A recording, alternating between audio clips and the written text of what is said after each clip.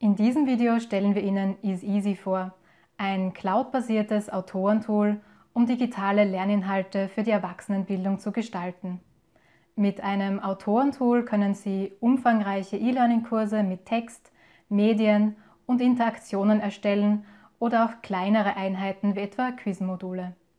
EasyEasy bietet eine kostenlose Basisversion und für die Arbeit mit dem Tool brauchen Sie keine Programmierkenntnisse, denn das Programm stellt Ihnen zahlreiche Vorlagen zur Verfügung und leitet sie Schritt für Schritt an. Wie das genau aussieht, sehen wir uns nun gemeinsam an.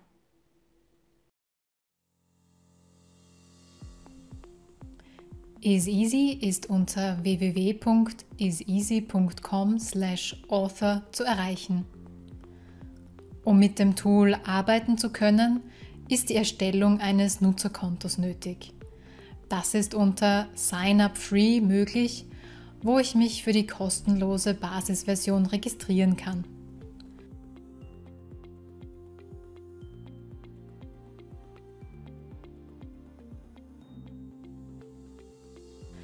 Dieser Free Plan inkludiert die Erstellung von drei Projekten, die jedoch mit einem Wasserzeichen und dem Is Easy Logo versehen werden, wie hier in diesem Beispiel. Der Speicherplatz ist in der Gratis-Version auf 300 MB beschränkt und der Zugriff auf die Bilddatenbank auf 500 Verwendungen. Die günstigste kostenpflichtige Lizenz ist derzeit ab 63 Euro monatlich erhältlich. Nach erfolgreicher Registrierung kann ich mich mit meinen Zugangsdaten unter Access auf der Homepage anmelden.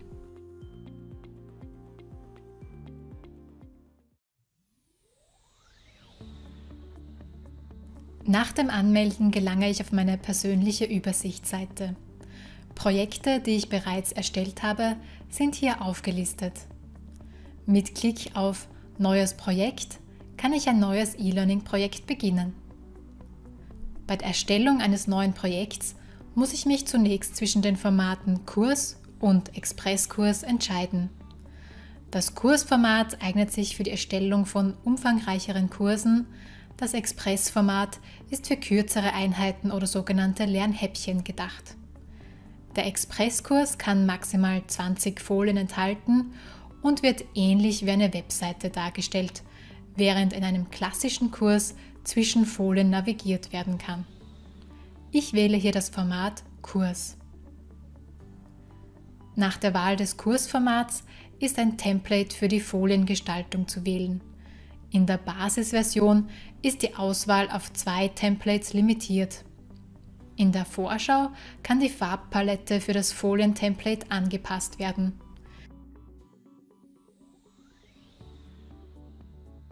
Wenn ich mich auf ein Template und ein Farbschema festgelegt habe, bestätige ich mit Klick auf Ich möchte diese Vorlage und der E-Learning-Kurs wird erstellt.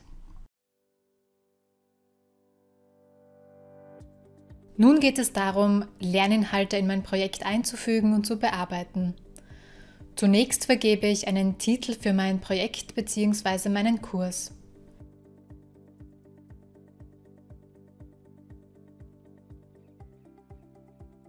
Die Lerninhalte können in Form von Kapiteln mit Unterkapiteln aufbereitet werden.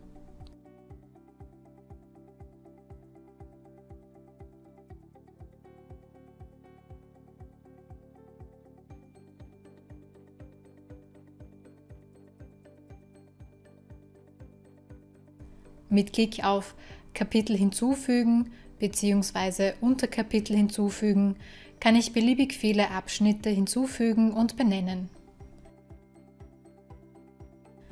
Die Anordnung der Kapitel und Unterkapitel kann ich per Drag and Drop jederzeit ändern. Um die leeren Inhalte einzufügen, klicke ich auf den Bearbeiten-Button beim entsprechenden Unterkapitel. Nun muss ich Folien einfügen. Dazu klicke ich auf das Plus in der linken Seitenleiste. Je nach Folieninhalt und gewünschtem Layout wähle ich aus den Folienvorlagen aus.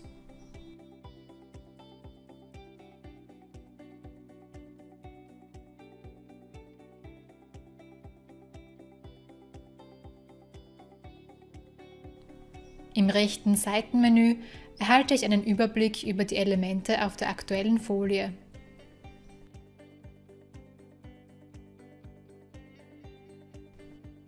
Diese können verschoben, gelöscht oder dupliziert werden.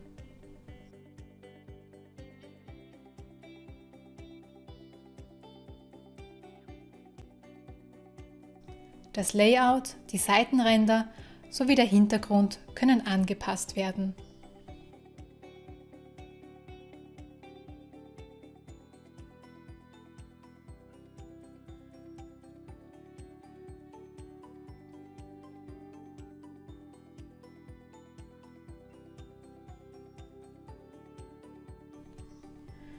Zu jeder Folie kann außerdem ein Voice-Over hinterlegt werden, also ein Audio, das automatisch abgespielt wird, wenn die Lernenden die Folie aufrufen. In der Gratis-Version ist jedoch der limitierte Speicherplatz für Mediendateien zu beachten. Den Beispieltext auf der Folienvorlage kann ich einfach durch eigene Inhalte ersetzen. Formatierungen sind über den Editor der automatisch eingeblendet wird, möglich.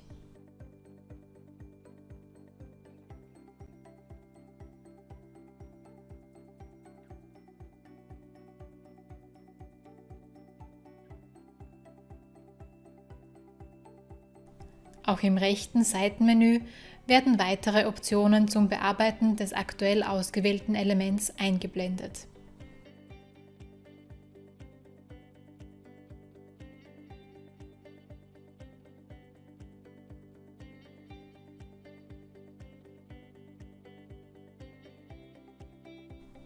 Die Beispielbilder der Vorlage kann ich löschen und durch eigene ersetzen oder Bilder aus der integrierten Bilddatenbank auswählen.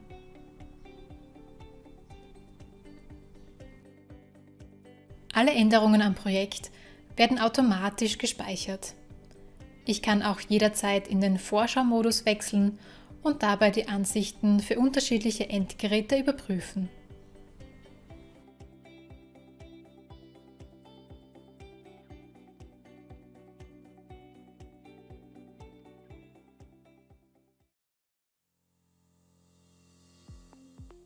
Für zusätzliche Folieninhalte klicke ich auf das Plus, das eingeblendet wird, wenn ich die Maus auf leere Folienelemente bewege.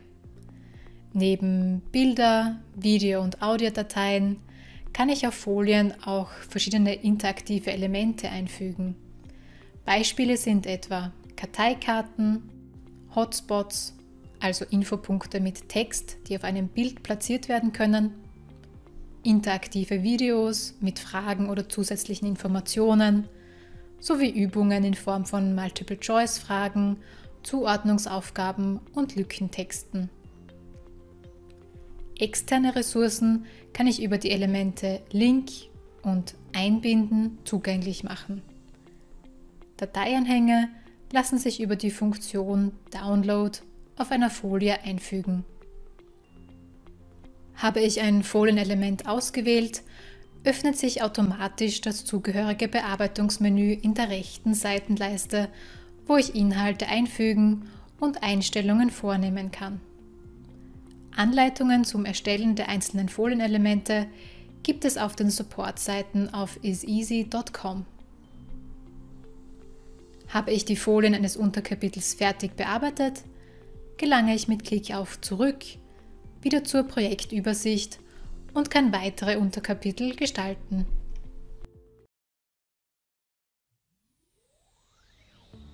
Sind die Lerninhalte erstellt, kann ich entscheiden, ob ich einen Abschlusstest einfügen möchte. Wenn ja, aktiviere ich das Modul Abschließender Test. Zunächst lege ich die Einstellungen zu Punkten, möglichen Versuchen und dem Titelbild fest.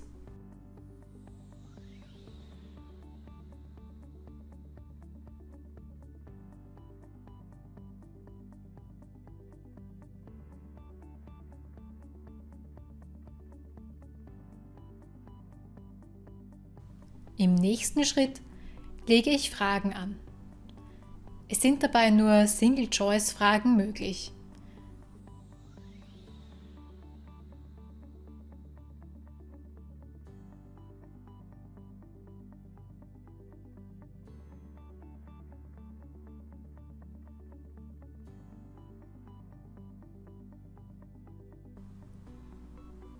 Feedback bei richtiger und falscher Antwort sowie zum Testergebnis kann ich ebenso eintragen. Nach dem Erstellen der Inhalte kann ich unter dem Reiter Einrichtung die Darstellung des Kurses bzw. des Projekts anpassen.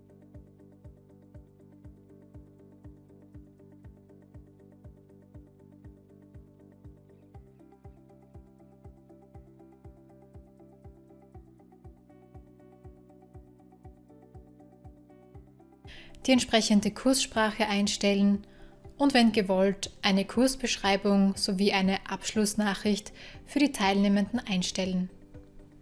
Zertifikate können nur bei Verwendung des Lernmanagementsystems von IsEasy ausgestellt werden.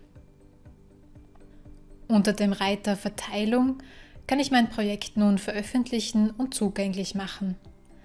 Das ist direkt über das LMS von IsEasy per Link oder über Datei-Download für Lernmanagementsysteme oder Websites möglich.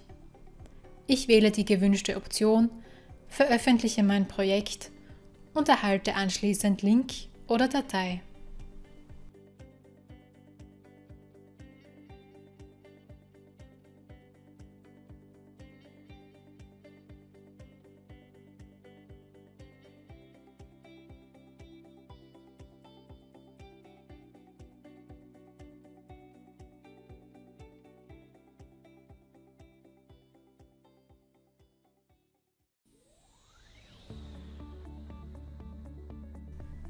Im Reiter Löschvorgang kann ich ein Projekt schließlich löschen, wenn ich es nicht mehr brauche.